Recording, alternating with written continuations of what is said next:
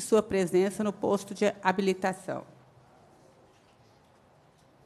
A presidência, nos termos do parágrafo 1 do artigo 132 do Regimento Interno, dispensa a leitura da ata da reunião anterior, considerando-a aprovada e solicita a sua subscrição. Esta reunião se destina a apreciar a matéria constante na pauta, receber, discutir e votar proposições da comissão e debater a situa situação do SESEC poeta Murilo Mendes, de Belo Horizonte. A presidência convida a tomar assento à mesa os seguintes convidados.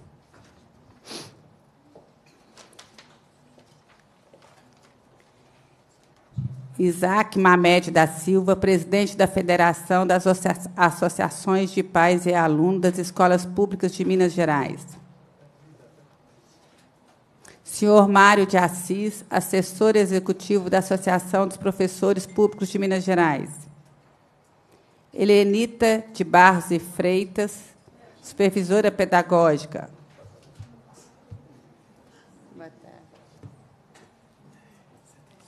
José França, vice-presidente da Federação da Associação de Pais e Alunos das Escolas Públicas de Minas Gerais. Janine Maria Nogueira, advogada da Associação dos Professores Públicos de Minas Gerais.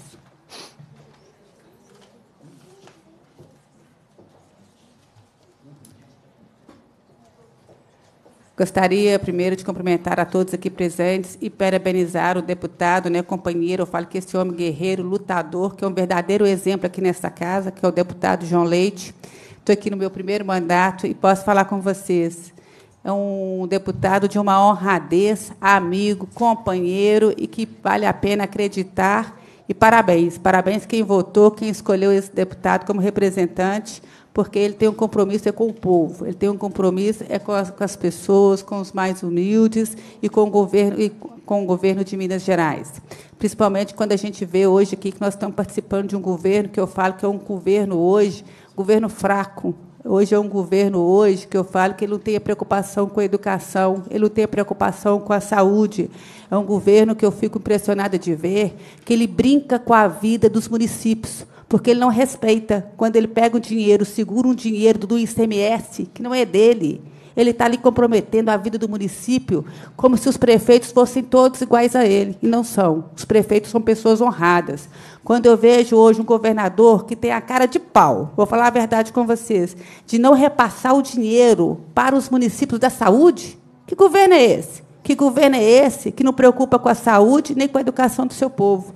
Mas um governo, gente, que ele não tem medo, não se preocupa e tem a coragem. Tem a coragem de pagar salários de 70, 80 mil, 90 mil para, para funcionários da Codemig?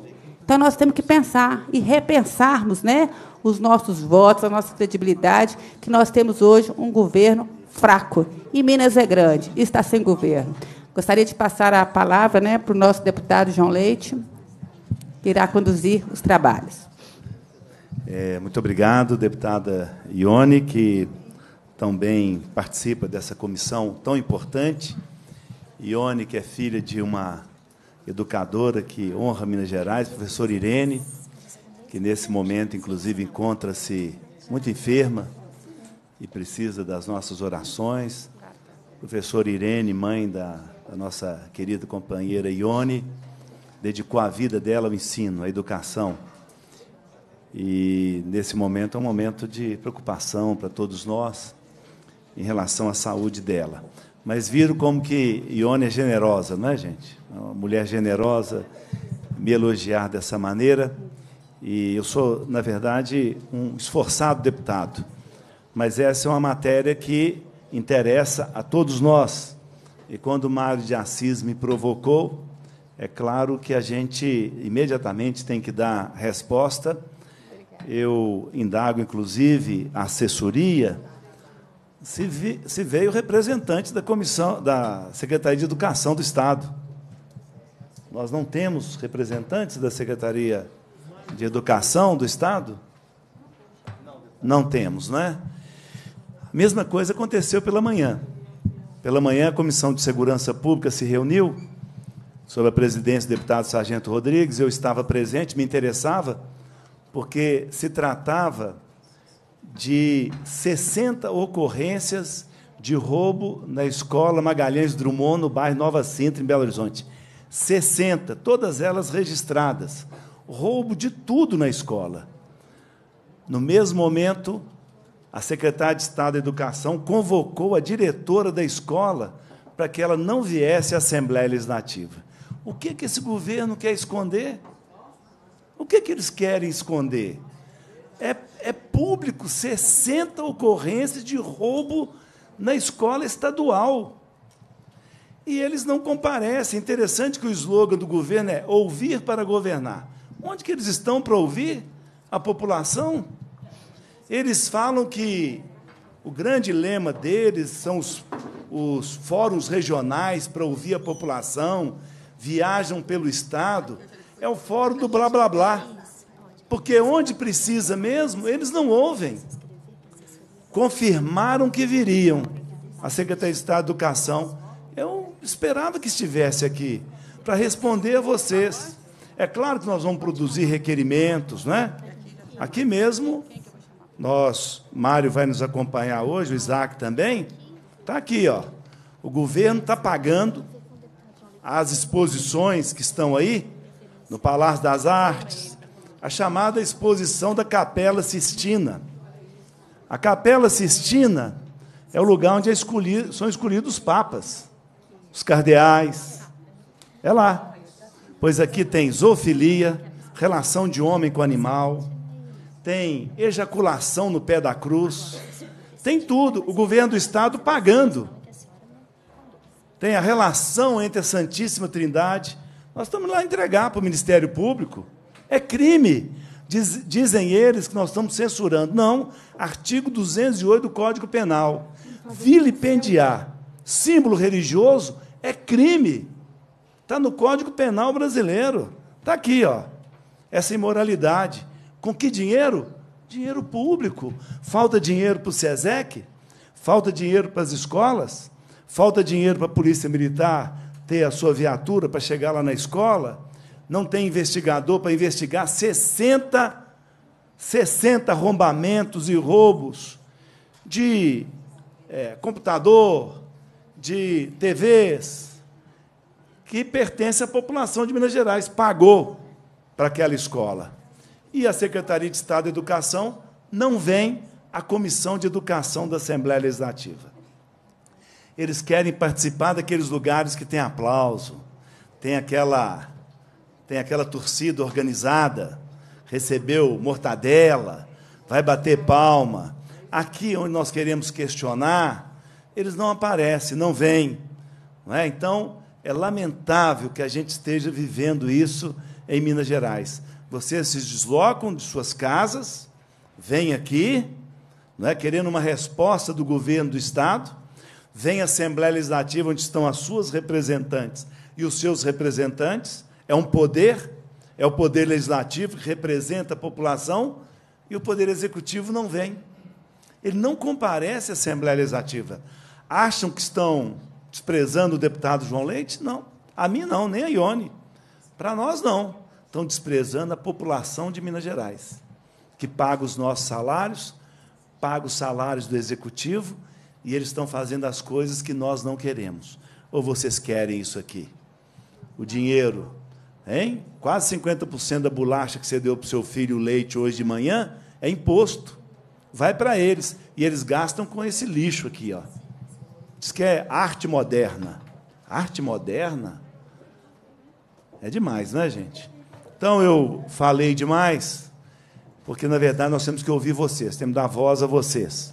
Então devolvo a palavra à presidente dessa audiência, a deputada Ione Pinheiro para que ela possa designar as falas aqui. E eu imagino que depois também, nesse microfone, ela concederá a palavra àquelas que desejarem, ou aqueles que desejarem fazer uso da palavra.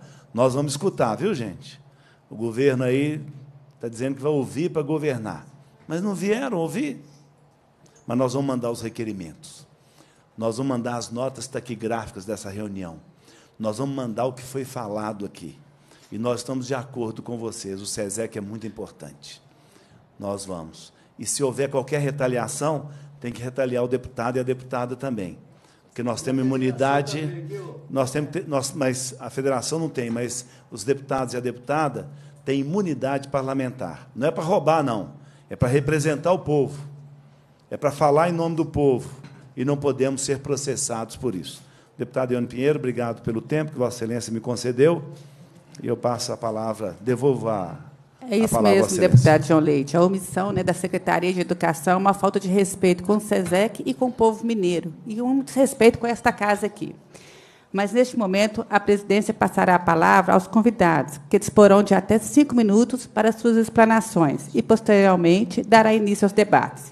Mas, antes, eu gostaria de falar né, aos interessados em fazer uso da palavra, que se inscrevam junto à assessoria aqui dessa comissão, sendo que cada inscrito disporá também de cinco minutos para sua intervenção. É, então, vamos primeiro convidar senhor Isaac Mamed da Silva, presidente da Federação das Associações de Pais e Alunos das Escolas Públicas de Minas Gerais. Muito obrigado, senhora presidente. Boa tarde a todos e a todas. Eu sou representante da Federação das Associações de Pais e Alunos da Escola Pública de Minas Gerais aqui ao nosso lado, outro representante desta federação. É triste dizer que estamos no século XXI a aceitar a imoralidade dentro do contexto educacional. Pior ainda, mexendo com, com a religião, religião das pessoas. Eu acho que é hora do legislativo, senhor, senhor, senhora presidente, barrar o que se chama ideologia de gênero, eu estou vendo a sociedade pagando fogo é, em cada cidade. Por que a Assembleia Legislativa não, não resolve essa, essa situação imediata? Eu acho que é hora da, da Assembleia lutar pela sociedade como um todo, pela educação. E, nesse momento, digo aqui a vocês, representantes dessa escola que está sendo escorraçada do seu espaço, a federação está com vocês. E se Deus quiser, eu pertenço a uma ordem que se chama maçonaria, e nós iremos solicitar dessa entidade que participe dessa luta de vocês. É o que eu tinha a dizer, senhor presidente. Muito obrigado. Agradecemos. Vamos passar a palavra ao senhor Mário de Assis, assessor executivo da Associação dos Professores Públicos de Minas Gerais. Boa tarde a todos. Eu quero agradecer o pronto atendimento, mais uma vez, um atendimento é, desse deputado que se de, demonstrou como atleta um grande defensor da educação, o nosso deputado e amigo João Leite, companheiro de todas as horas. Não menos de valor, a deputada Ione Pinheiro, né? receba da Associação de Professores Públicos de Minas Gerais e de todos os professores a solidariedade pelo momento difícil que passa a senhora, sua mãe, a professora Irene, não é? foi professora do Instituto de Educação, de uma história muito bonita da educação. Então, receba você, o Denis Pinheiro, o Toninho Pinheiro, a nossa mensagem de que do lado do pai o inimigo cai.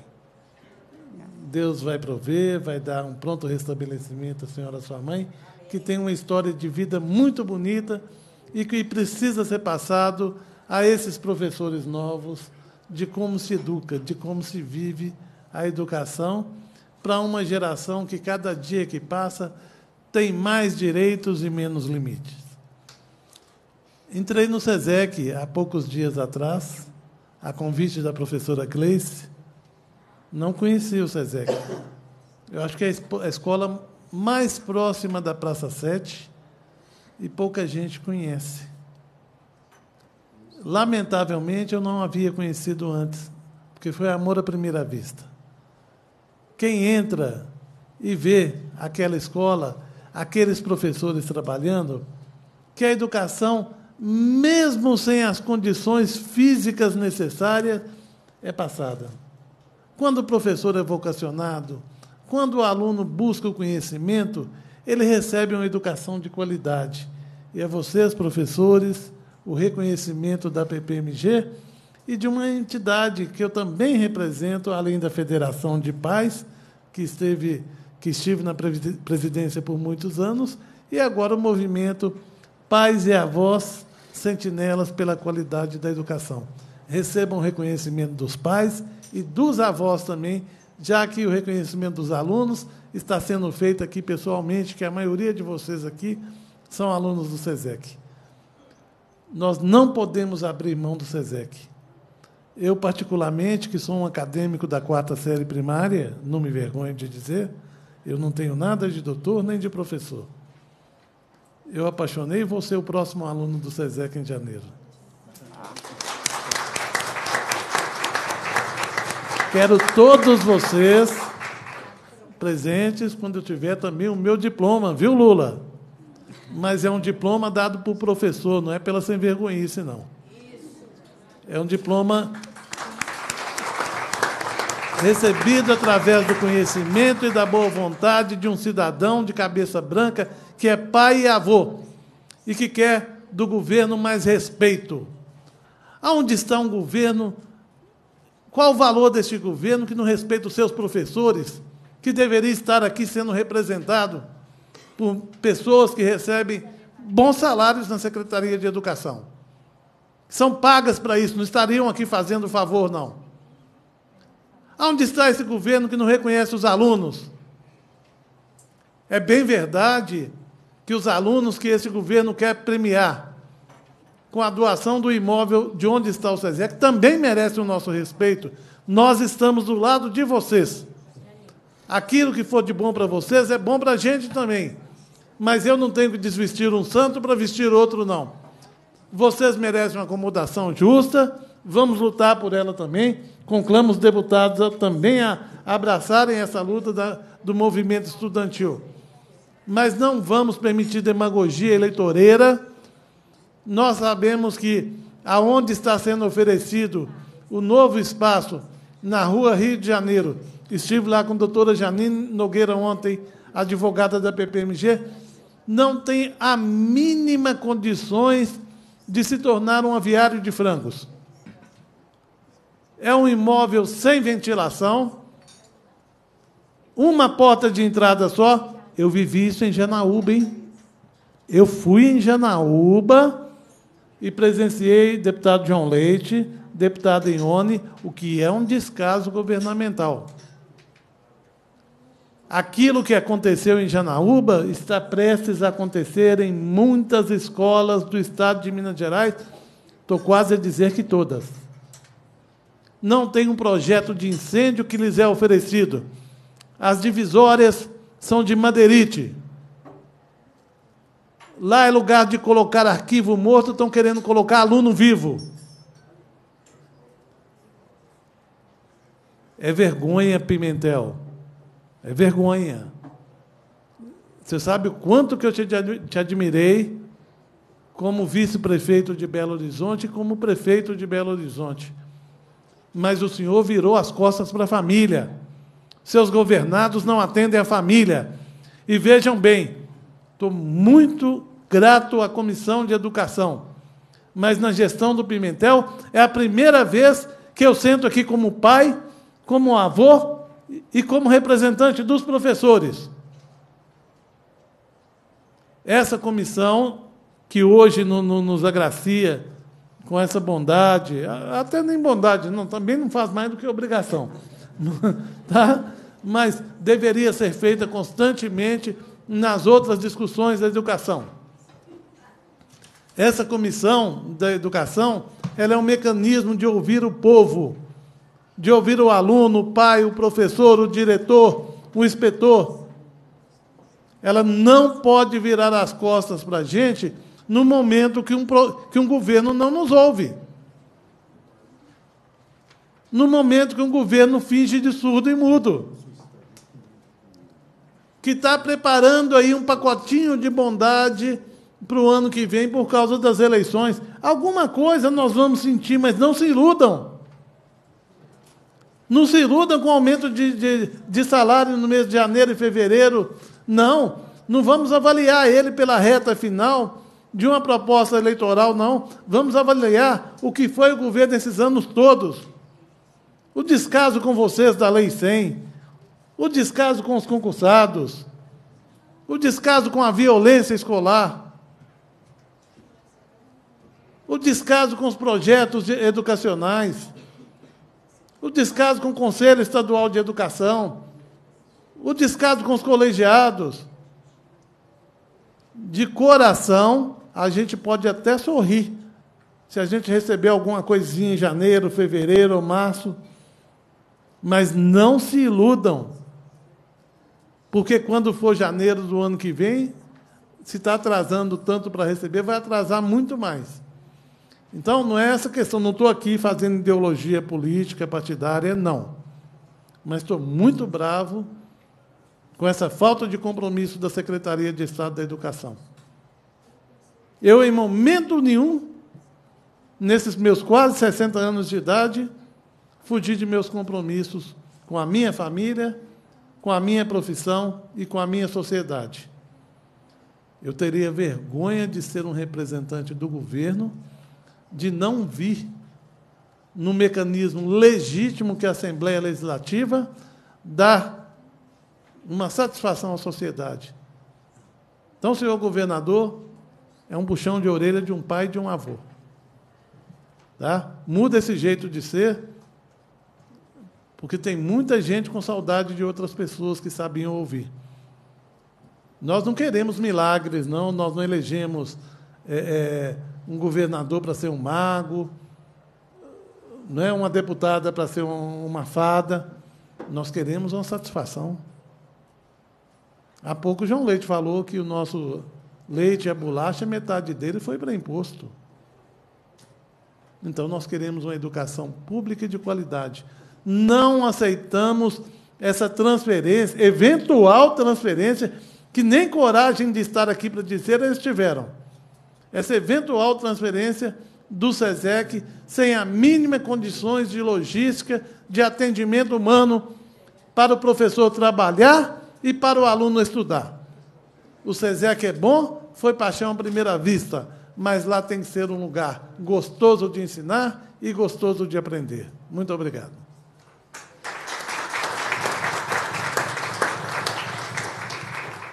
Parabéns, Mário.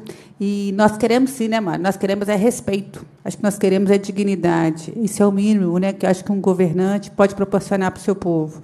Hoje de manhã nós estivemos na, visitando uma escola, escola especial lá no Barreiro, e a gente fica, a gente fica muito chateado. Vou falar uma coisa para vocês. Estão tentando uma inclusão que é uma verdadeira exclusão. Aquilo é uma falta de respeito. Tenho acompanhado as comissões, tenho visto o desespero né, das mães, os alunos né, sendo colocados, às vezes, numa sala, num canto. Aí vem uma professora, põe um tablet e o menino fica esquecido ali dentro. Eu acho que a educação é direito de todos e é dever do Estado. Nós temos vendo um governo, gente, que hoje não cumpre com a alimentação escolar, não tem repassado a alimentação escolar para as, para as escolas. Nós temos um governo hoje que não repassa o dinheiro do transporte escolar. Será que esse governo quer mesmo uma, uma, uma educação mesmo diferenciada? Quer mesmo uma Minas Gerais melhor? Eu vejo assim, às vezes, eu fico olhando esse governador nosso, é muita propaganda, mas pouca ação. Mas vamos chamar agora a senhora Helenita de Barros e Freitas. Ela é supervisora pedagógica, representando a senhora Denise Bastos, diretora do Centro Estadual de Educação Continuada Clemente Faria, SESEC. Poeta Murilo Mendes. Poeta Murilo Mendes. Boa tarde, boa tarde, deputado, senhora deputada, todos presentes. Obrigado por nos acolher nessa casa. Eu represento não somente a diretora que eu estou substituindo por estar impedida de vir, mas represento o colegiado e também professores e os nossos queridos alunos que estão aqui é, representando uma parcela da nossa equipe, que faz em torno de 5 mil alunos, sendo 1.500 a 2.000 na parte da banca e o restante, que é o EJA semipresencial. A maioria trabalha, se estiverem impossibilitados de estar aqui no momento. Então, eu sou a voz deles. Eu estou no SESEC há pouco tempo, desde 2015, então não conheço a fundo, não estive junto com eles na luta que eles tiveram para conseguir esse prédio, que eu acho que muitos de vocês agora vão ouvir, que é o prédio da, da Rua Itambé. Nós, a escola funcionava na Assis Chateaubriand, e com muita luta do colegiado, da comunidade, dos professores, de todos os funcionários, eles conseguiram a, a cessão do prédio da Rua Itambé, que era do IGA. E com essa, essa vinda da escola para o prédio da Itambé, houve assim uma satisfação imensa de todo o corpo da escola. É um prédio que eu quero ressaltar que o nosso pedido aqui hoje, vou frisar bem, é que a gente permaneça nesse prédio. Nós entendemos que a União Estudantil ela é válida, ela tem a luta, a causa deles, que é muito nobre. Mas nós, enquanto escola, a gente precisa desse prédio que é adequado para funcionamento de uma escola. Temos salas, temos alunos que não nos deixam mentir, salas arejadas, amplas, é, elevador funcionando nos quatro andares. Temos é, uma rua tranquila, que não tem barulho, que não tem é, comércio. Temos vagas para estacionamento dos alunos com deficiências, que precisam né, do, do espaço para estacionar. São quatro andares que a gente tem, com uma organização. Né? O, o nosso colega que esteve lá, o Mário, e viu que a gente funciona bem. E temos a parcela dos nossos alunos que estão muito satisfeitos com o estudo, com o ensino, com a oportunidade que é oferecida a eles. Quando a gente foi comunicado, não verbal, aliás, desculpa, não por escrito, mas verbalmente, de que a gente, pela pela cidade administrativa, através da direção do SESEC, junto com a direção do SESEC, com Vladimir, diretor do ensino médio da Secretaria da Educação, foi feita uma reunião no dia 29 de agosto desse ano, dizendo que o prédio seria cedido para outra entidade. No dia 31, compareceram ao SESEC o senhor Vladimir, a Tiene e a Thais Araújo para uma, uma visita ao prédio. E no dia 1 do 9, nós, funcionários, representantes do colegiado, representantes dos alunos, fomos fazer uma visita, junto com a Tiene e o Márcio, que é o engenheiro, a, a esse prédio da Rua Rio de Janeiro. Então, lá, como disse o Mário, é totalmente inadequado. Tem os professores que foram conosco, e acho que vocês poderão ir lá conhecer. É impossível funcionar uma escola. Um barulho imenso do centro, não tem vaga para estacionamento, não tem salas de aula, serão colocadas divisórias, não temos janelas, a iluminação precária, o acesso à cantina é impossível pelos alunos portadores de deficiência é, física. E, assim, se for transformado em sala, além do barulho de uma sala ao lado, teremos o barulho imenso do centro. Então, nosso apelo aqui hoje, senhores, é para que a nossa escola permaneça na rua Itambé. Que a gente continue podendo oferecer a esses alunos que variam de 15 a 88 anos Muitos já conseguiram, a gente tem registro deles, conseguiram a certificação do ensino médio. A maioria está correndo atrás de uma faculdade para o emprego, que nos deixe ficar num local que nós estamos felizes e a educação acontece. Muito obrigada.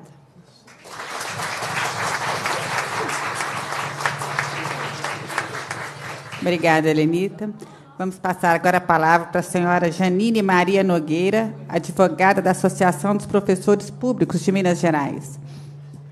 É, boa tarde a todos. Eu cumprimento a presidente Ione né, e o deputado João Leite, como representante de toda a mesa, né, e a todos vocês aqui também presentes. É, é de estarrecer né, a situação em que vocês se encontram. Ao chegar na escola, quando eu fui com o Mário, a gente depara e fica de boca aberta, né? Com, essa, com a situação e, e com a petulância mesmo de, de, de fazer uma doação de um prédio, que nós não sabemos mesmo se vai ser uma doação ou uma sessão ou o que, que será. E se for doação, me parece que tem que passar por essa casa. Porque como que vai ser doado, né? Esse prédio para a UniBH, para a Uni, né, estudantil. Eu queria até saber se tem alguém da Uni aqui presente. Tem alguém da Uni aqui presente? É da União Estu é, Estadual Estudantil? Ah, ela não foi convidada para subir. Podia até vir também, né? Porque tem gente representando aí. Então, é, nós só queremos aqui, nós não estamos contra ninguém, contra né, os estudantes, não. Agora, só que tirar uma escola de um local e passar para um outro que não tem condições mínimas de funcionamento, isso é inviável mesmo. E isso, gente, é uma, é uma, é uma situação absurda e violenta para com todos que estão nessa escola aí, que são educadores e os educados também. O local é horrível. Eu posso falar isso que nós tivemos lá. A escada é daquelas escadas antigas, que são bem em pés, que nós não sabemos como os alunos vão subir. E quem tem problema aí, como nós estamos vendo os cadeirantes aí, como que eles vão ser colocados nesses locais? Embaixo, um arquivo morto. Em cima, um vão livre com telha de zinco. Então, como que serão colocadas essas salas de aula lá? A gente não sabe. Ó, por mais que você chegue num local limpo, que você possa ter uma ideia de como aquilo poderá funcionar, a gente fica olhando e não tem, a gente não, não sente no local como que ele pode funcionar. Então, nós pedimos aqui, né, que vocês realmente é, possam brigar por esta causa, que estejam com essa turma toda que precisa desse atendimento. E nós já colocamos à disposição, o jurídico da PPMG, nós estamos à disposição de vocês também. Se for preciso, até de entrar com uma causa na justiça, para que vocês não saiam desse local, eu tenho certeza que nós estaremos à disposição para poder brigar junto com vocês. Então, né, nós colocamos isso aqui e que para vocês também possam ficar um pouco mais tranquilo, que se não vier, né, uma uma posição firme desta casa, né, se vocês não conseguirem, não vai ter outra saída a não ser a gente mover uma ação para que vocês permaneçam nesse local. Outra coisa que é uma situação que deixa a gente estarrecido também. A escola já recebeu dinheiro para fazer as melhorias do local. O dinheiro está parado. Não pode ser feito nada. Outra, o contrato com o, com o IGA, né? Ele está vencido. Por quê? Por conta desse impasse aqui da doação do prédio. É, aqui aqui está dizendo doação, mas a gente mesmo não sabe qual é o termo. E também a gente não sabe se as pessoas que enviaram isso para a escola, se elas têm a capacidade total até de lá, ou competência para escrever o termo correto. Nós não sabemos nem disso, se esse termo está correto. Então, quem teve lá da, da Secretaria de Educação representando, né? Ou o jurídico, não sei. Então a gente não, não pode entender esse termo. Para chegar numa escola e dizer e impor. É uma, é uma condição impositiva. Que vai acontecer dessa e dessa forma e vai ser assim. Então, isto é lamentável na educação lamentável nessa Secretaria de Educação e lamentável para o governo que está aí. Então, eu faço essas considerações né, e espero que a gente tenha aclarado um pouco mais também a situação.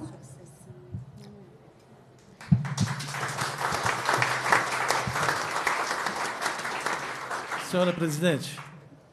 Obrigada, Janine. Vamos aqui, Mário, só um momentinho, por favor. Só gostaria de perguntar antes. Eu gostaria de saber quem poderia nos informar. Hoje, o SESEC funciona nesse local. É sessão de uso? É sede própria? É do Estado? Como que é? Qual o documento que vocês têm? Só para nós.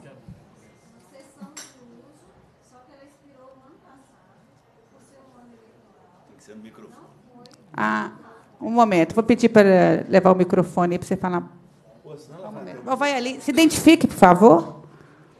Fala seu nome. Quero anunciar aqui né, a, a presença do deputado Carlos Pimenta, presidente da Comissão de Saúde aqui da Assembleia Legislativa.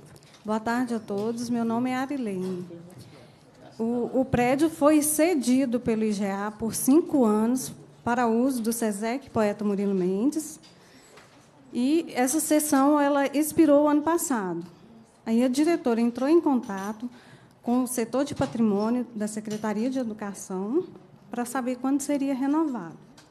Então, por ser um ano eleitoral, não pôde ser renovado, mas a, a informação esse ano é que os documentos estavam correndo para que fosse renovada essa sessão para o SESEC.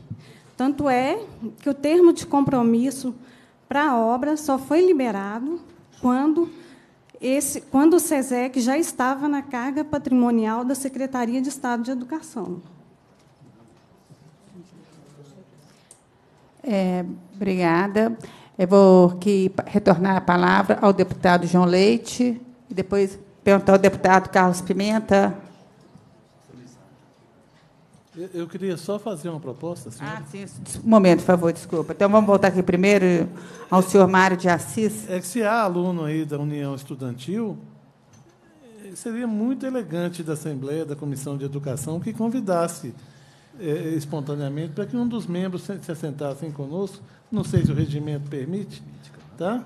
E se houver também, pelos corredores ou no carro, escutando a nossa audiência aí, pessoal da Secretaria de Educação, Pode vir, ninguém vai morder, não. Quem sabe até ganham aplausos, né? Que eles gostam de ir muito onde tem aplauso. Muito bem. Mário Assis? O Isaac? Não. Não, o, é, é, é, o Arley. Arley é o aluno Arley. escolhido? Não, para falar do CESEC? É um para representar e vir à mesa. É ele? Não, não. Não? Da União Estudantil tem algum aluno aí? Tem algum aluno do SESEC não. que poderia vir à mesa? Não? Não. Só vai falar? bem. Mas falta a fala do, do Vou, Isaac, não é? Vou, é, gostaria de passar a palavra ao senhor Isaac Mamed da Silva, presidente da Federação das Associações de Pais né, e Alunos das Escolas Públicas de Minas Gerais. Meus amigos, é, a federação realmente não podem aceitar o que está acontecendo com essa escola. É, inclusive, estaremos a partir de semana que vem à disposição dessa escola para que nós possamos, junto com o deputado João, João Leite, fazer algum, algumas atividades em defesa dessa escola. E aproveito esse momento, aqui está o nosso deputado de saúde, Carlos Pimenta. Carlos Pimenta. É, nós temos várias patentes de saúde. Infelizmente, existem as barreiras, mas o SUS, é, este ano, aprovou saúde na escola. Eu solicitaria do senhor deputado que pudesse dar apoio à Papaeng, é, saúde na escola. É só o que tinha. Muito obrigado a todos e a todas. Vou passar a palavra aqui ao meu companheiro para que ele faça algum pronunciamento. Boa tarde a todos, boa tarde a todos. Cumprimento a nossa nobre presidente, deputada Ione Pinheiro, assim como o deputado João Leite, a todos os representantes da escola da SESEC Poeta Murilo Mendes, de Belo Horizonte. Né? É, estamos ingressando agora para compor a diretoria da FAPAENG, Federação das Associações de Pais e Alunos. Gostaríamos de ressaltar o nosso envolvimento completo ok, com relação a esse tema, tá, que nós julgamos muito importante. Nós estamos vivendo no Brasil uma situação conflitante e que assola todos, né? de uma maneira direta ou indireta, existe uma repercussão nos nossos lares, nas nossas famílias. Sabemos que a educação é o pilar mais importante para, para o progresso de uma nação. E nessa, nesse pilar da educação, temos o envolvimento de pais, alunos e principalmente professores. Então, gostaria de estimular, né, mobilizar e manifestar o nosso interesse em lutar por essa causa, estaremos à disposição de todos. Né, é, ressaltar que me causa uma estranheza muito grande, como cidadão, de verificar em furos de reportagem as escolas no Brasil, que em qualquer canal de televisão a gente assiste essas, essas manchetes, né, o estado precário das escolas no Brasil, tanto de infraestrutura como de, de currículo, e nós está, estamos aqui promovendo, me parece que intencionalmente, uma situação como essa, de tirar uma escola que já está. Uh, bem instalada para uma situação de precariedade novamente. A pergunta é: será que nós queremos fazer virar furo de reportagem novamente? O governo do estado tem essa intenção? O objetivo é prejudicar a educação? Então fica aqui essa interrogação e a FAPAENG vai buscar a solução desses problemas. Tá? Podem contar conosco. Muito obrigado.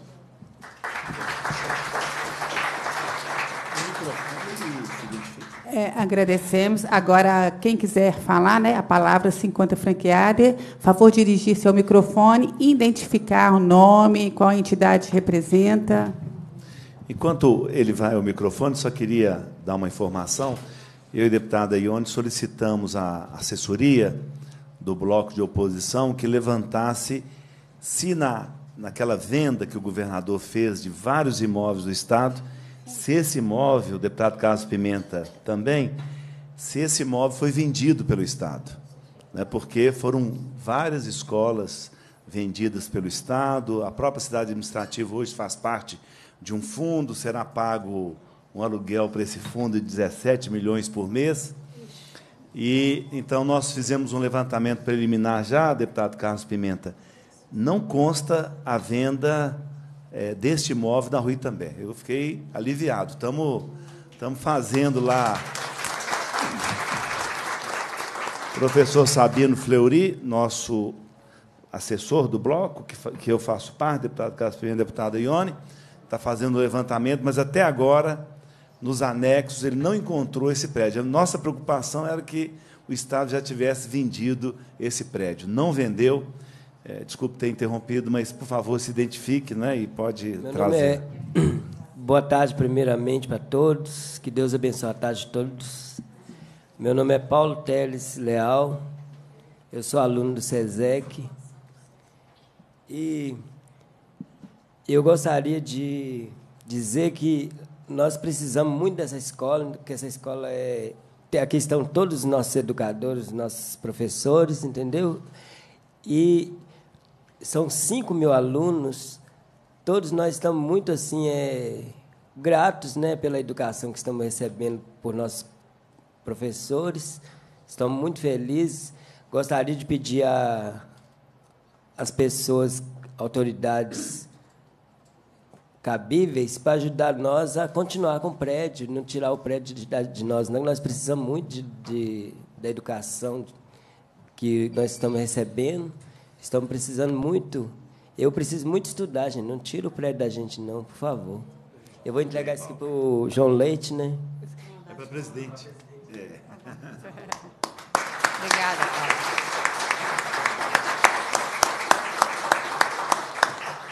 Quero te agradecer, Paulo. Pode ter certeza que aqui nesta casa vocês têm sim o SESEC, tem defensores. Estou aqui recebendo né, a reportagem aqui, a propaganda, né, do senhor governador já cedendo, assinando né, documentos cedendo esse, esse espaço. Olha que falta de respeito, né? Respeito com o SESEC, respeito com os funcionários, respeito, falta de respeito com os alunos, falta de respeito com nós aqui, com esta casa. Mas isso que eu torno a falar a vocês. Hoje nós temos um governo fraco, descompromissado, um governo que não respeita o seu povo. Mas mais alguém, gente? Vamos aqui agora, esse momento, né? Momento de vocês, vem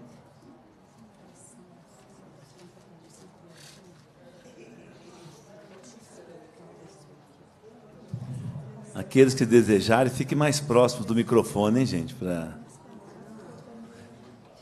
identificar, né, dizer o nome completo, por favor. É, boa tarde, pessoas de grande autoridade. Eu me chamo Genine Ferreira, eu estudo no SESEC, já tem dois anos, e eu estou aqui representando todos os alunos do SESEC Poeta. E eu quero dizer que para vocês olhar muito com carinho, vocês de grande autoridade, para nós, porque infelizmente no momento nós somos a minoria diante de grande autoridade. E eu queria pedir vocês, com muito carinho, que todos os alunos que estudam naquele colégio são pessoas cidadão de bens, mães e pais que deixam seus filhos em casa para poder lutar por um, por um diploma, por um grau de escolaridade porque hoje nós sabemos que no nosso país nós não vamos lugar nenhum sem escolaridade. E o SESEC é uma das de uma, né, é uma das casas que abriu assim com todo carinho coração e as oportunidades para gente. Eu como aluna, é, eu digo, eu fiquei quase 30 anos sem voltar a estudar, porque eu não tinha condição de pagar um colégio. E quando houve o SESEC, Gente, que coisa maravilhosa é o SESEC, professores dedicados, que largam seus filhos, né, seus esposos na sua casa para dedicar a gente. E agora é, estão querendo fazer essa injustiça com a gente, porque eu acho que isso é uma injustiça. É, vocês me perdoem se eu não estou falando corretamente, mas eu estou dizendo o que meu coração está dizendo diante da nossa realidade. É um privilégio estar diante de grandes autoridades como vocês. E se nós tivemos que apegarmos, que apegamos a ajuda de vocês, que olhasse com carinho, que não nos tirasse daquele local. Os professores são excelentes professores que nos tratam com tanto carinho, todos naquele lugar nos tratam é, em todas qualquer categoria que esteja ali dentro daquela escola, professores, na diretoria, nas salas de aula, na biblioteca, são pessoas que abraçam a gente com carinho e que nos dão incentivo também a encarar a realidade que nós podemos. Que mesmo que a gente ficou sem estudar, o SESEC tem isso, ele nos ajuda a crer, a entender que vale a pena. Então, por que fazer isso? Não é verdade? Então, eu espero, sim, com todo carinho, que vocês pensem, reflitam e nos ajude. Porque hoje nós podemos ser a minoria, mas quem sabe amanhã, eu por enquanto não tenho filho, mas eu vou ter, e o meu filho possa precisar do SESEC.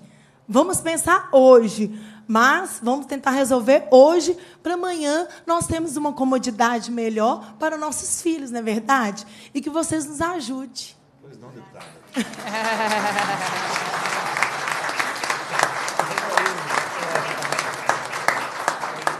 Antes, eu só gostaria de deixar registrado, gente, que o senhor Paulo, né, entregou um abaixo-assinado aqui, né, senhor Paulo? Pedindo, né, que o SESEC continuasse, permanecesse no mesmo endereço, né, que ele foi adquirido com muita luta e que é totalmente adequado para o funcionamento de uma escola. Então, quero deixar registrado que se encontra aqui em nossas mãos, nas mãos, né, da comissão. Tá, Paulo? Deputado Ione. Essa luta é de, ela é nossa, viu, gente? Não é só de vocês, não, ela é de todos nós. Deputado Ione, só antes dela falar, eu queria também hoje pela manhã na Comissão de Segurança Pública, só para a gente sentir como que essa luta, como que é importante a manifestação de vocês e como que é importante gritar alto mesmo. Hoje chegou a denúncia à Comissão de Segurança Pública que vai ser fechada a creche que os policiais militares, as policiais femininas, deixam seus filhos para ir trabalhar. O governo quer fechar a creche dos policiais militares. Imagine onde que essa policial vai deixar a criança dela nessa situação. Hoje nós tivemos dois agentes penitenciários baleados quando saíam da Nelson Hungria.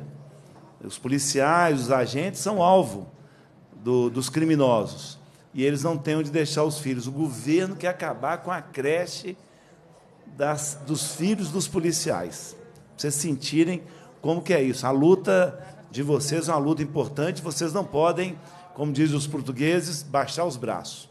Tem que lutar o tempo todo. Boa tarde, meu nome é Cristina, eu sou funcionária da secretaria lá do SESEC. E nós estávamos planejando agora em novembro, 15 anos do SESEC, uma festa com uma sede já própria nossa, e vem uma notícia dessa querendo nos tirar de lá. Então a gente gostaria assim que a educação fosse valorizada para crescer, para melhorar e não para retroceder. Né? Nós estávamos num prédio que não era adequado, fomos para lá que já melhorou muito. A gente quer melhorar e não retroceder. Então, que a gente veja a educação valorizada, que a gente gosta de lá, a gente já evoluiu muito no ambiente, né? E é tão bom a gente na rua andando, né, contra alguém, assim, aquela lá é funcionária do SESEC, ei, funcionária do SESEC, que a gente atende muita gente lá, a gente que está na secretaria no atendimento, ali na fachada, ali na frente, é muita gente que passa lá querendo retornar seus estudos. Igual a Elianita falou, nós temos desde os 15 anos até seus 90 anos lá, independente da idade, procurando educação, melhoria de vida, né, um crescimento profissional. Então, a gente quer o reconhecimento de tudo, de todos que estão ali. Tá? Que nossos 15 anos seja o nosso presente, a nossa fixação de endereço lá. Obrigada.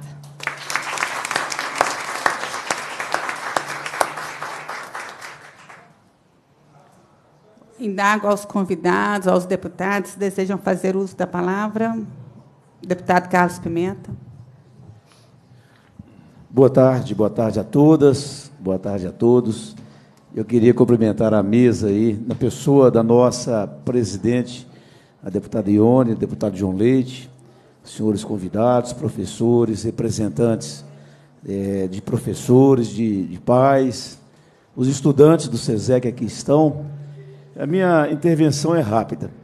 Eu primeiro eu queria cumprimentar é, pela luta que eu estou vendo aqui, que na verdade é uma luta, né? É, pela uma das coisas mais importantes que tem, que é o direito de poder permanecer uma escola, uma escola importante, uma escola que ao longo dos seus vários anos, eu estava lendo o documento, já, já atendeu mais quase 60 mil alunos. Importante para as pessoas é, que querem retomar os seus estudos, importante para o aperfeiçoamento. E a gente veio, de repente, depois de, do, do SESEC ter permanecido em vários locais inadequados, ela se firma num prédio que já é conhecido de todos, já pelas falas aqui, os professores são atendem à demanda dos alunos, das famílias, da sociedade, né, de Belo Horizonte, de Minas Gerais, e de uma hora para outra é, ficam ameaçados de perder a sua casa. Nós estamos vendo aí, gente, desse país que nós estamos vivendo, é, em que as pessoas verdadeiramente não valorizam o que a gente tem de mais valor, que é a educação a educação plena, a educação é, inclusiva da, da sociedade, das pessoas. E a gente vê essa luta que tem por aí. É, o governador, pela, pelas reportagens, ele quer devolver a União Estadual dos Estudantes, a União Nacional dos Estudantes, resgatar é, é, história desses estudantes na época da ditadura. Bom, Agora, eu acho que você não resgata uma história é, destruindo outra história. Né? Você não resgata uma história desmoronando o que está dando certo. Eu acho que o resgate da, da, da história da, da, União Nacional dos Estudantes, a União Estadual dos Estudantes, é, efetivamente tem que ser feita. Eu acho que o estudante tem seu papel. Mas não dessa maneira. Vocês não têm nada com isso. Se a ditadura, um tempo atrás, é, extinguiu essas, essas, essas uniões, essas esses entidades né, que representam os estudantes, desapropriaram essas entidades e, de repente, de um momento para outro, como que num passe de mágica, o governador quer fazer esse resgate às custas né, de tanta gente e às, e às custas de tanto sabe, sofrimento da história do, do SESEC. Então, Ione, eu acho que essa, essa audiência é muito importante. Eu acho que daqui tem que ser feito um documento, dessa comissão ao governador, se colocando contra essa posição de governo, se quer resgatar essas uniões de estudantes, que arranje outro local. Né? Então, o governo tem tanto imóvel por aí que não está servindo para nada. Né? O, o, ali não está simplesmente um, um, órgão do governo, não, está um órgão da sociedade. É muito diferente. Tem um órgão do governo, porque se funcionasse uma secretaria ou uma diretoria de um banco, alguma coisa, olha, vocês afastam aqui agora que os estudantes vão tomar conta. Não. Ali tem um costume, né? ali já tem essa experiência das pessoas passar lá e, olha, vou para o CESEC, então é lá no local é esse, as pessoas já conhecem. E o senhor ali falou da questão da saúde. Né? É claro que, que a gente está aí lutando também por, pela, pela saúde aí de Minas Gerais, que está uma vergonha. A saúde de Minas Gerais chegou numa situação do Brasil como um todo, mas mais em Minas Gerais. Né? Eu presido a comissão de saúde e a gente está vendo aí que nós já batemos no fundo do poço. É como diria Tiririca, né? achamos que chegamos no, no pior, cada dia aparece mais um buraco para poder levar a saúde da nossa gente. E hoje, o, o, governo, num decreto, numa canetada, acabou com um dos programas mais importantes que nós tínhamos, que é, que é aquele programa da saúde em casa, de levar o medicamento na casa das pessoas. A partir de agora não existe isso mais, as pessoas não vão receber os medicamentos, os hospitais estão sucateados. Aqui de Belo Horizonte, uma luta para a gente poder manter o Sofia Feldman funcionando, ameaçando fechar as portas. O João 23 que é o maior pronto-socorro que nós temos no Brasil, sucateado, fechando as portas também, as pessoas que têm ali não, tomam, não têm o direito nem de tomar um banho quente. A última visita que eu fiz lá com o João Leite, tinha um senhorzinho lá de uns 80 anos de idade, e hospitalizado no, no, no pronto-socorro João 23, e a senhora dele, a esposa dele, esquentando a água num ebulidor. Né? Dentro de, uma, de um copinho ali dentro, aquele ebulidorzinho, que acho que nem existe mais, ele deve ter esse ebulidor muitos anos, estava lá esquentando a água para mornar uma água, para dar um banho no marido dela. Então é isso que nós estamos vivendo. Né? É o caos que se instalou. E nós não podemos, né, para nós, para o povo brasileiro, a questão da saúde e educação são causas pétreas, sagradas, né, independente de qualquer governo. Eu não tenho nada contra o Pimentel, não tenho nada a favor dele, eu quero só que ele faça um bom governo. E não pode ser um bom governo dessa maneira como está tratando a saúde pública está tratando a educação. Né? Claro que teve avanços, não estou aqui desmerecendo, a gente bate palma para os avanços que existem, mas a gente tem que denunciar, como vocês estão denunciando, uma, uma aberração. Isso é uma aberração, acabar com algo tão importante, que já se viu quase 60 mil pessoas em Minas Gerais, num país em que nós temos 13 milhões de pessoas analfabetas, 13 milhões de pessoas analfabetas, é quase a população de Portugal dentro do Brasil, que não sabe escrever o nome, não sabe assinar, né? e um órgão desse que resgata isso, que é a coisa mais sagrada que a pessoa tem é a educação, é onde ela tem verdadeiramente a sua cidadania resgatada, o governo vem querer desvestir um santo para botar essa roupa de outro santo, acabar com o que está dando certo para poder resgatar fatos históricos que a gente quer também, mas não às custas do SESEC. Parabéns a vocês.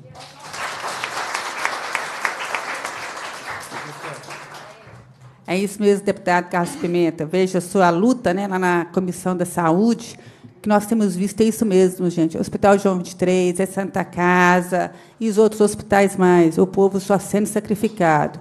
O povo mineiro hoje, as prefeituras sofrendo mesmo, ele retendo dinheiro da saúde, não repassa aquele dinheiro que é devido aos municípios, tem segurado o governo federal tem repassado ao governo estadual e não tem repassado ao, aos municípios mineiros. Eu acho que é muita irresponsabilidade. Mas eu gostaria agora de passar a palavra ao deputado João Leite para fazer leitura dos requerimentos decorrentes desta reunião, que serão aprovados em próxima reunião, deputado. Antes Uma vez que não temos quórum. Antes. Oi? Eu vou ter a consideração. Deixe sim. Um momento, só por favor. Um momento que nós não temos quórum para aprovação. Ok. É, nós estamos assinando, eu, a deputada Ione Pinheiro, o deputado Carlos Pimenta, três requerimentos, mas não, é, não quer dizer que, se surgir outra sugestão, podemos fazer outros requerimentos. Mas o primeiro é que a Comissão de Educação realize uma visita ao prédio situado na Rua Rio de Janeiro 341, onde pretende a Secretaria de Estado de Educação realocar o Centro Estadual de Educação Continuada Poeta Murilo Mendes, a fim de avaliar as condições de adequação das instalações ao funcionamento da escola. Então, nós vamos estar acompanhando a TV Assembleia, vamos pegar lá as imagens de onde o PT quer colocar os nossos alunos, as cidadãs e os cidadãos de Minas Gerais. O nosso Paulo aí, onde é que eles querem enfiar? Queremos saber que lugar é esse. Então, nós vamos ter é, vídeo, vamos ter tudo. Né? Vocês veem que como que nós estamos enfrentando em Minas Gerais, hein? Que nós estamos enfrentando uma censura terrível e o governo não participa de nada, não vem à Assembleia Legislativa dar explicações, porque eles são estão acima de tudo, né? Um traço de ditadura violenta, tem que engolir tudo que eles fizerem. É lamentável. Então esse é o primeiro requerimento. Falta assinatura do deputado Carlos Pimenta. O segundo é que seja encaminhada à Secretaria de Estado de Educação e à diretoria do Centro Estadual de Educação Continuada Poeta, Murilo Mendes, as notas taquigráficas da 21ª reunião ordinária dessa comissão que debateu em audiência pública a situação do referido SESEC. Então, as notas taquigráficas é tudo aquilo que aconteceu nessa reunião, todas as falas a secretária de Educação vai receber todas as falas dessa reunião.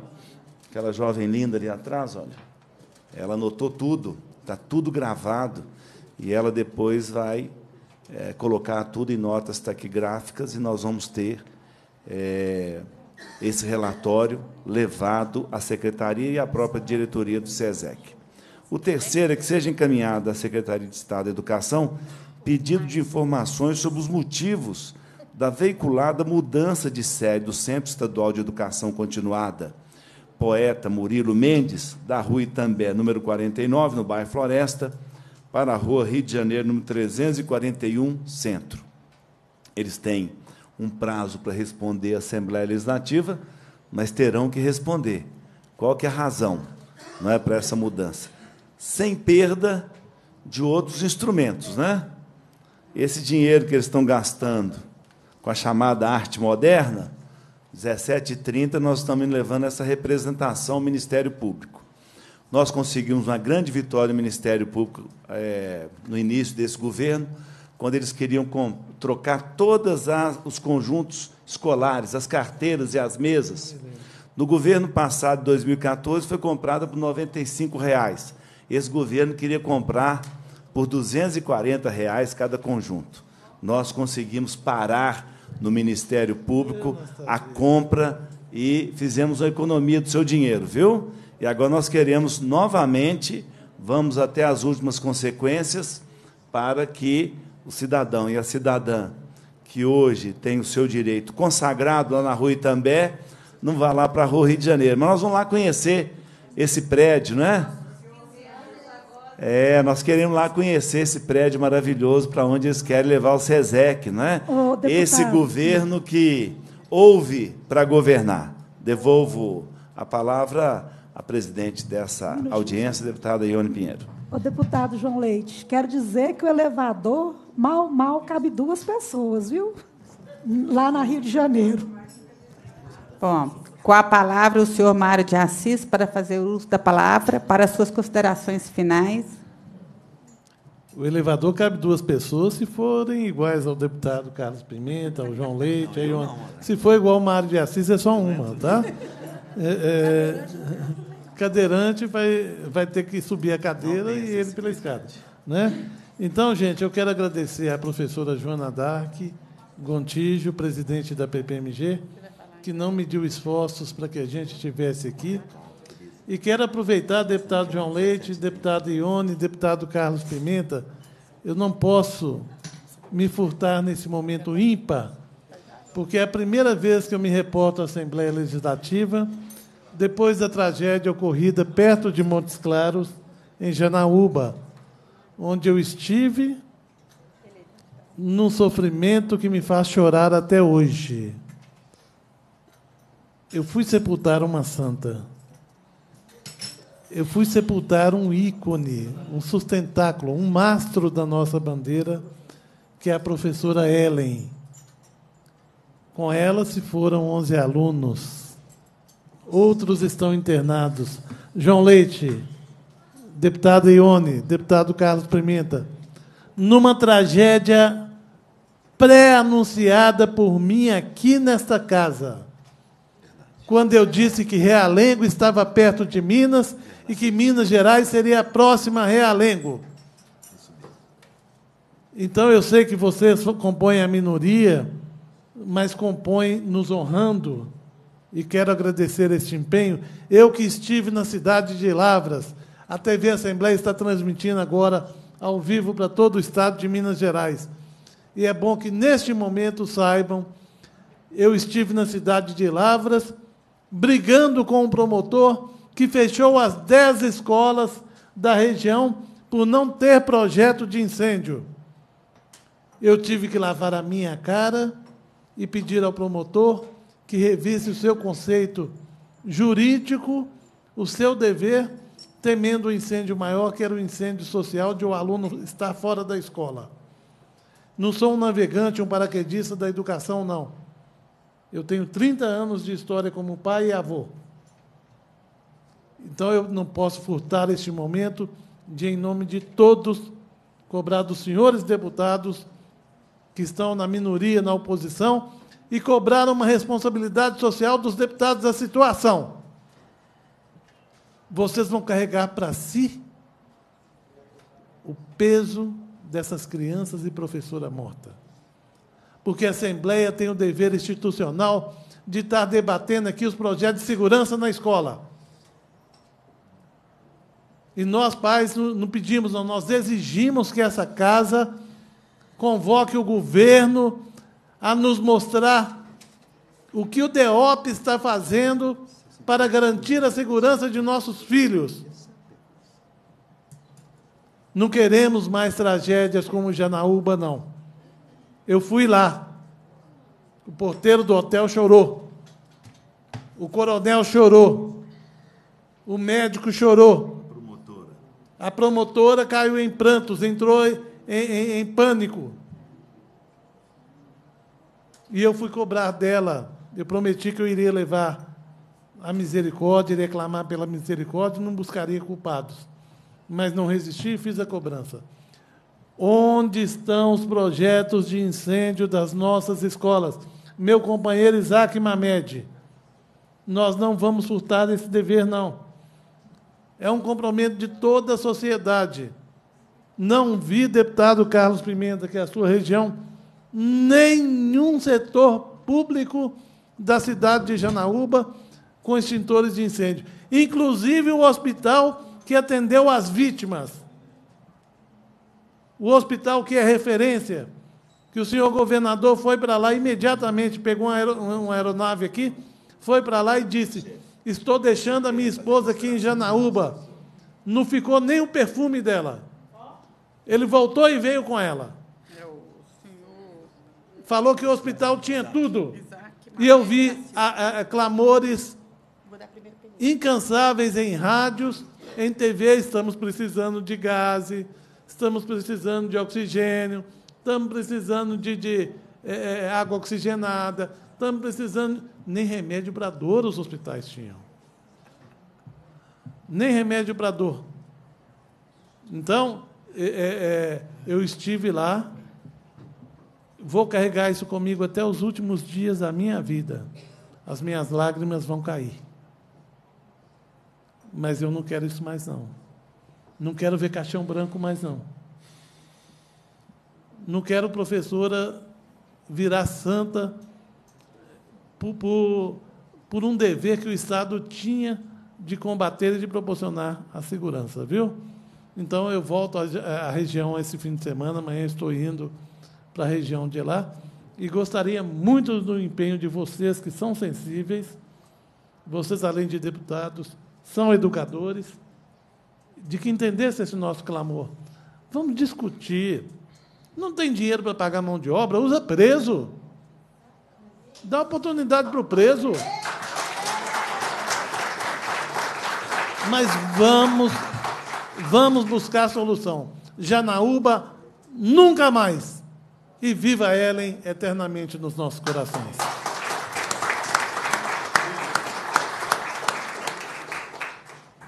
Com a palavra, a senhora Helenita de Assis para fazer suas de Barros para fazer suas considerações finais. É, eu gostaria de agradecer a casa que nos tão bem acolheu, ao Mário que vestiu a camisa do SESEC, conseguiu este momento para a gente. É a futura escola dele, né, Mário? A gente aguarda. Queria agradecer imensamente aos professores que no dia a dia, no olho a olho com cada aluno nosso, faz o seu trabalho digno e que tem o reconhecimento de todos eles, que nós temos alunos que foram moradores de rua, ex-usuários de droga, eh, pessoas com histórias assim de superação que são maravilhosas. E eu me sinto muito feliz em poder participar disso com vocês. A vocês, alunos, que saíram das suas casas, muitos sem o dinheiro para voltar, que a gente conseguiu o ônibus de vinda, né? A minha eterna gratidão.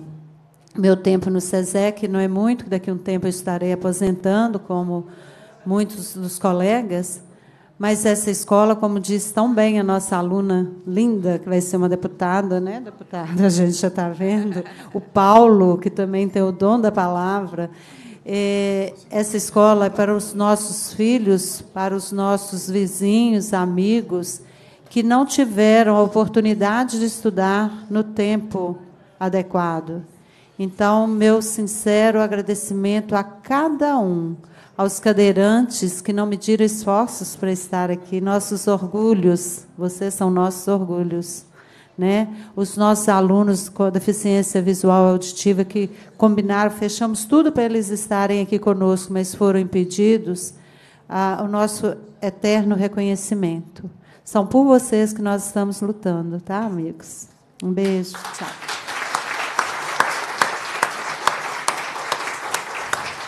Obrigada, Elenita.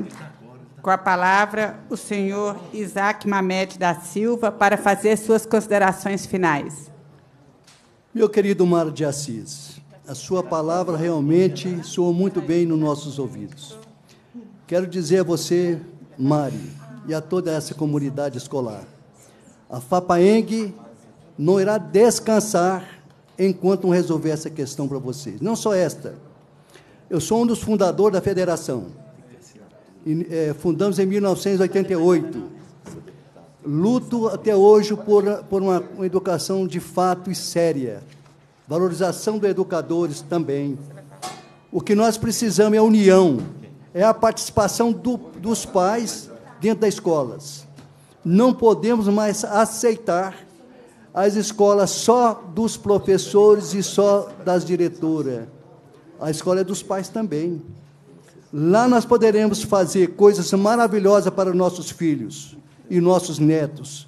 Eu deveria estar agora batendo a perninha no, na praia, porque estou aqui, com quase 80 anos. Porque sou homem de ideal. Sou idealista.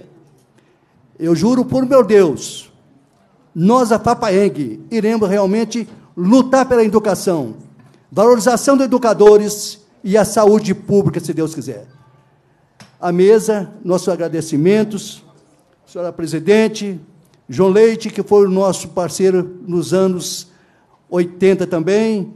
Parabéns, João Leite. Continua nessa sua luta. E a FAPAEM, que estará ao lado da Assembleia Legislativa, lutando pela saúde e pela educação. E que o Senhor dos Mundos abençoe a todos vocês. É o que nós tínhamos.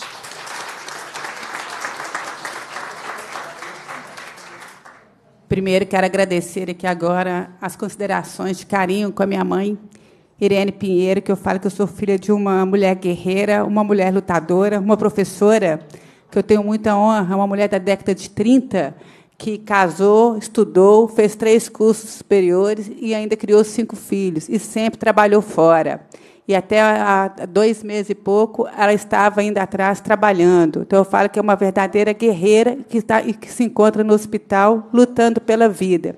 Então quero primeiro agradecer o carinho de todos e pode ter certeza que eu me orgulho muito da minha mãe e da luta dela pela educação, porque só assim nós vamos parar de construirmos o quê? Penitenciária. Então, eu queria agora também deixar bem claro aqui para o Mário, Mário, pode ter certeza que essa luta sua aqui, essa luta quando você fala aqui da questão da segurança, nós temos visitado muitas escolas e temos visto, as escolas não estão só sem segurança, mas estão sem estrutura, estão sem estrutura financeira, estrutural, estão sem dinheiro as, as, as diretoras de escola, não tem merenda, estão mesmo deixadas aí sem o menor interesse do governador. Mas eu gostaria de cumprimentar também agora o deputado Duarte Bechir, né, presidente da Comissão das Pessoas com Deficiência, que também tem feito um grande trabalho, né, Duarte? Que hoje, inclusive, nós estivemos presentes em uma outra escola de educação especial. Com a palavra, o deputado Duarte Bechir. Ok. Boa tarde, presidente. Boa tarde, senhores parlamentares. Convidados, é, a todos, sejam bem-vindos. É, muito rapidamente, nós estamos fazendo um trabalho e hoje a Ione nos acompanhou. Nós fechamos as visitas a nove escolas do Estado especiais, destinadas à pessoa com deficiência. E há uma normatização de não se aceitar novas matrículas nessas escolas e as crianças que estão nelas, os adultos, seriam transferidos para as escolas regulares. E nós estamos sentindo, conhecendo de perto, que as mães não aceitam levar os filhos porque, em decorrência da deficiência, do grau dela, a escola regular não vai adaptar ao atendimento que a criança precisa, o que o jovem precisa e o adulto precisa. Então, nós fechamos hoje, estivemos no Barreiro, visitamos nove escolas no Estado, estaremos preparando um debate público aqui na Assembleia e encaminhar ao governo propostas de não deixar fechar essas escolas, pelo contrário, fortalecer essas escolas.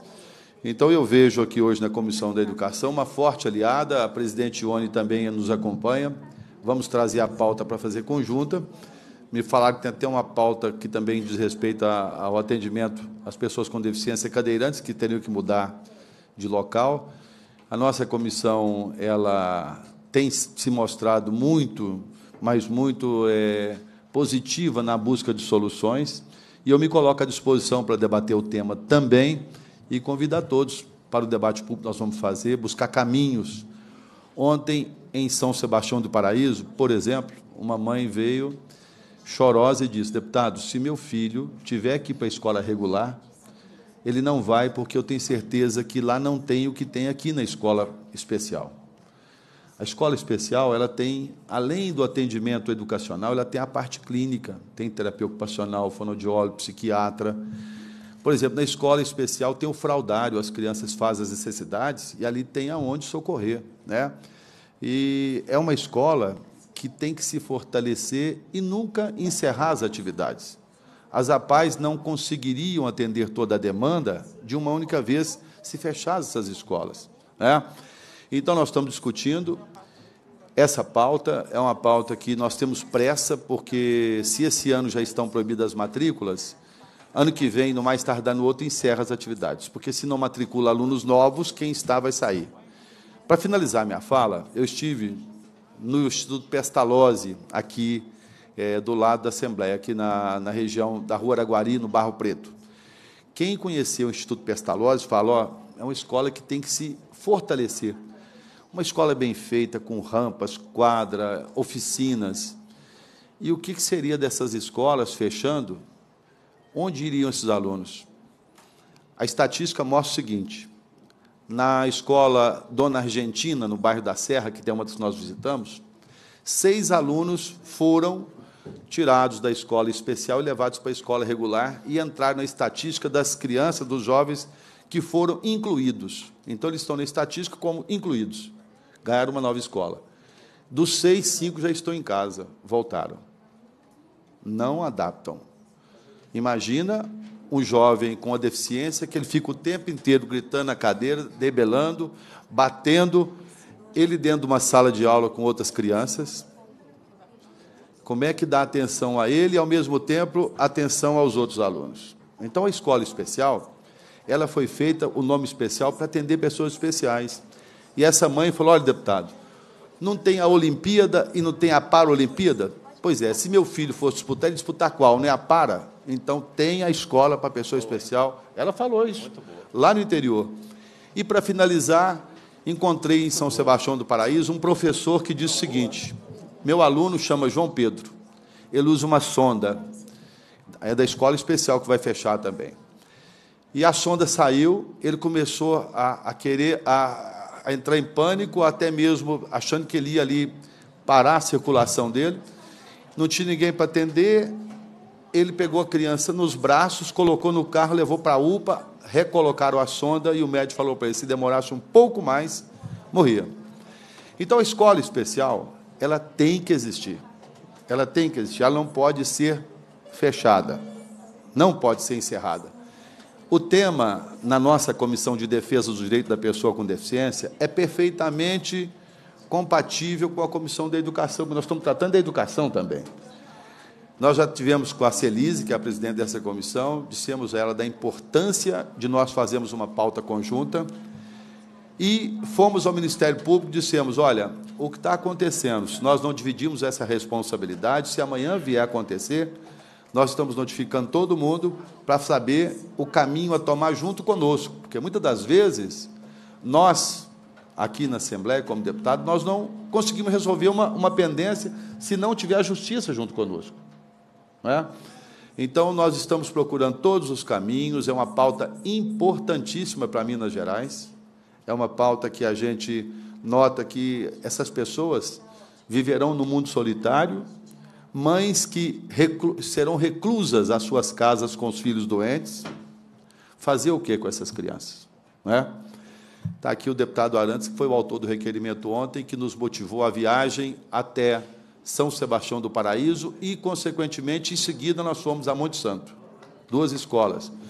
Então eu termino aqui, presidente, estou à disposição, participar aí com Vossa Excelência, os demais pares, na certeza de que nós haveremos de criar um caminho conjunto para poder dar solução a esse impasse que está ocorrendo. Você já pode votar? Você está pronto para votar?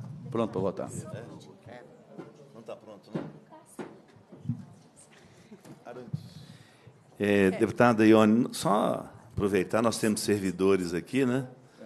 Acaba de sair a. Acaba de sair a, a, a escala de pagamento do servidor. Em novembro, a primeira parcela dos salários será paga no dia 13. A primeira parcela.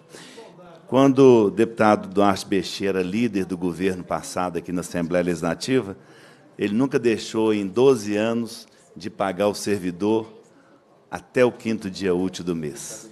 Integral. Integral. Ele era o líder daquele governo, que pagava integralmente.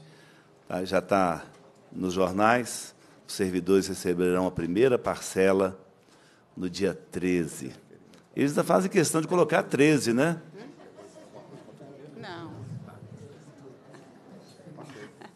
É, primeiro, quero com, cumprimentar né, o deputado Antônio Carlos Arantes e a quem eu passo a palavra. Cumprimentando também o deputado Ione Pinheiro, deputado Duarte Bexir, presidente da nossa comissão da defesa do deficiente, da pessoa com deficiência, deputado João Leite, também grande parceiro da família, pessoa que defende os valores da família, né? Que cumprimentar também na pessoa do meu amigo Mário, Maria Cis, cumprimentar também todos aqui da mesa, cumprimentar todos os presentes. E você bem rápido, mas o deputado Duarte falou aqui antes da nossa ida a São Sebastião do Paraíso para ver a situação das escolas especiais que já estão agonizando para fechar. A escola de São Sebastião do Paraíso, a Mariana Marques, tinha mais de 300 crianças especiais fonoaudiólogo, psicólogo, fisioterapeuta, médico, dentista, tudo, sabe, deputada Ione? Modelo para o Estado. Tanto é que aqui em Belo Horizonte reconhecia lá como uma escola modelo. Olha, Mário, de 300 e poucos, proibiram as matrículas e fez a tal da inclusão. Mandou a meninada para as outras escolas. Hoje tem 16. Os que foram para as escolas, eu não sou contra a inclusão, não. A palavra inclusão é muito bonita, né, gente? É, eu sou a favor da inclusão, mas sem incluir pessoas que estão aptas a serem incluídas, aqueles que têm condição de entrar no, numa escola normal e se tocar a vida normal. Mas o problema é que isso é uma proposta de primeiro mundo num país de terceiro mundo. A criança chega naquela escola normal, ela não tem o, professor, não tem o técnico habilitado, preparado e em quantidade, né? porque o espaço físico adequado. Não tem nada, gente. Então, é uma balela. A verdade é o seguinte: é um regime de exceção. Essa é a realidade. Até fiz um comentário que Hitler, quando quis comandar na Alemanha e aqueles países todos ali, que o projeto era muito maior, ele excluía, ele eliminava, tentava eliminar os nazistas, né, criar uma raça pura, inclusive os deficientes físicos seriam todos eliminados. Olha, gente, inclusão da forma que está sendo feita, ela é cruel. As famílias não têm a mínima condição. Tem um caso de uma criança, isso citou o caso da criança que estava lá o professor na hora, falou, a criança ele fica na cadeira de roda com a cabeça para trás, olhando, eh, não consegue olhar para frente, babando, debatendo e ainda com oxigênio. Teve um dia que tirou o oxigênio e quase morreu.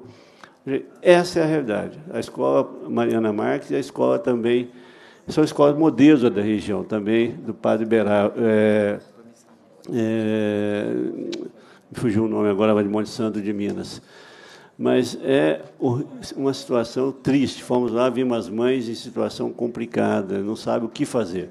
Então, grande parte dessas crianças que vão para a escola, para a inclusão, elas são excluídas e vão para casa e não conseguem e não consegue é, nem ter a inclusão e, na realidade, fica excluída da educação e também porque essas escolas né, fazem um trabalho social muito forte com a família. Então, fica relegado à própria sorte. Então, deputado Duarte, obrigado e parabéns pelo trabalho forte nessa, aí na luta da, da, da manutenção dessas escolas, e não só no manter do jeito que está, não, porque o jeito que está não tem jeito mas voltar a ter o apoio completo. Lá em de Minas não fechou, mas a estratégia é uma estratégia assim pequena, é, é, é tacanha, um negócio feio. O que, que eles estão fazendo? Porque está tendo muita pressão da sociedade, sabe, Mário? O que, que é feito? Tirou o psicólogo, tirou o fonoaudiólogo, tirou o fisioterapeuta. Então, quer dizer, vai matando a escola aos poucos. Terrível. Então, é, então é isso, mas nós vamos lutar para que isso não aconteça.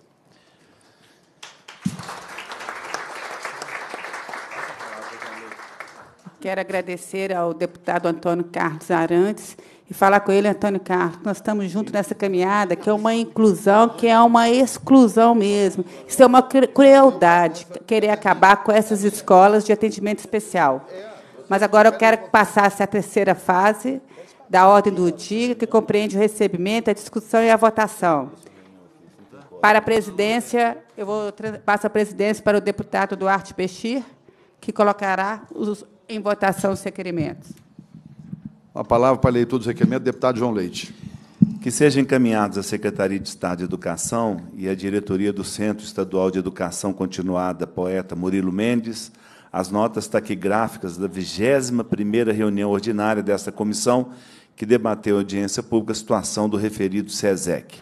O segundo requerimento, senhor presidente, seja encaminhado à Secretaria de Estado de Educação pedido de informações sobre os motivos da veiculada mudança de sede do Centro Estadual de Educação Continuada, poeta Murilo Mendes, da Rua Itambé, número 49, no bairro Floresta, para a Rua Rio de Janeiro, número 341, no centro. O terceiro requerimento seja realizada visita desta comissão ao prédio situado na Rua Rio de Janeiro 341, onde pretende a Secretaria de Estado de Educação realocar o Centro Estadual de Educação Continuada, poeta Murilo Mendes, a fim de avaliar as condições de adequação das instalações ao funcionamento da escola. O quarto, seja encaminhado à Secretaria de Estado de Educação o abaixo-assinado anexo entregue a esta comissão por integrantes da comunidade escolar, representados pelo Paulo, do Centro Estadual de Educação Continuada, poeta Murilo Mendes, solicitando a permanência do SESEC